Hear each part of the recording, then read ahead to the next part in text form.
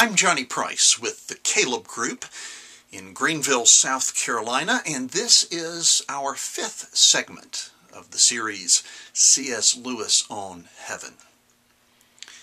Now, there are some questions that have to be addressed, such as what is eternal life?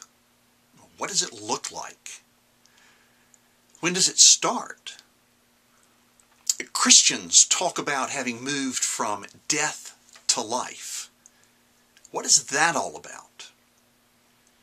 Well, in order to address these questions, we first of all have to define a couple of terms, such as death and life. The most succinct, accurate, precise definition of death is a single word separation. It's not annihilation, it's not non existence. You and I are eternal beings, and we will exist for all eternity in a conscious state. So that when I die physically, who I am will be separated from the physical world. But there is another type of death that we need to be concerned about, and that is spiritual death. When someone is dead spiritually, who they are is separated from God. Well, actually, that has to be tweaked just a bit. When someone is spiritually dead, who they are is separated from the comforting presence of God.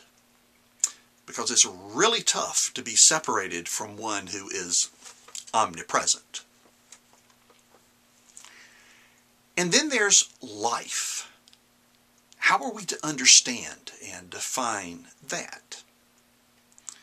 Well, picture, if you will, a post, a plant, a pet, and a person. The post is not alive. It is inanimate. The plant is alive. Now, what's the difference?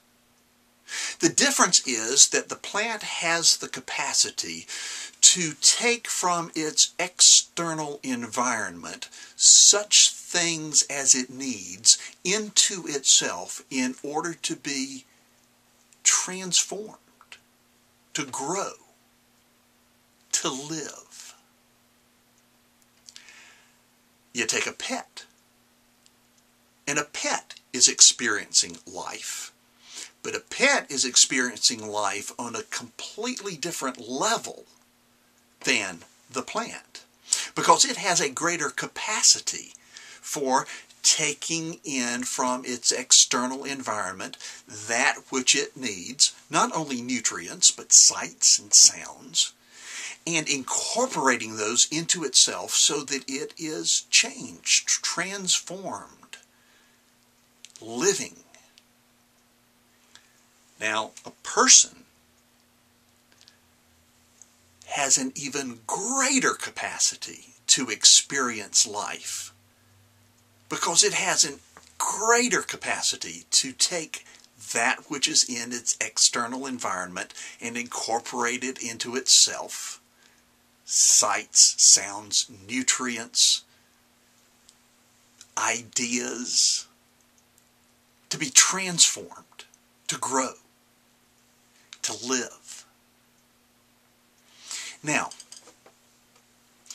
if a person moves from spiritual death to spiritual life, it is because they have taken into themselves from their external environment God Himself through Jesus Christ.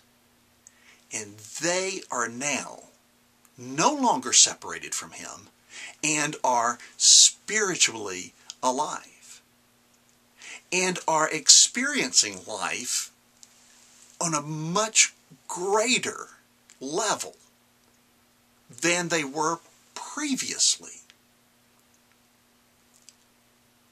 Now, what this means then is that you can have someone who is physically alive and spiritually alive. That's a Christian.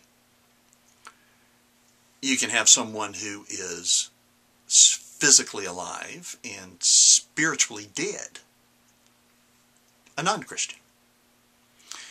You can have someone who is physically dead and spiritually alive. And here we begin to get at the heart of what eternal life is all about. And tragically, you can also have someone who is physically dead and spiritually dead.